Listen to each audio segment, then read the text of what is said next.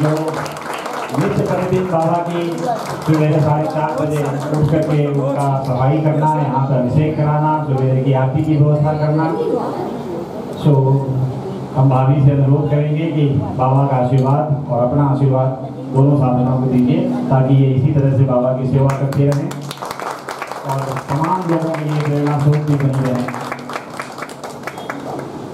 सदगुरु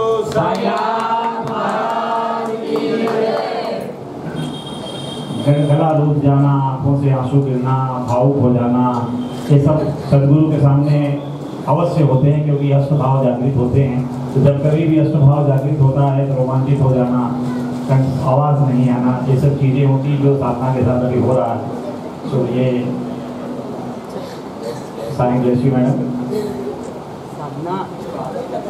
अब हम आरती प्रारंभ करेंगे।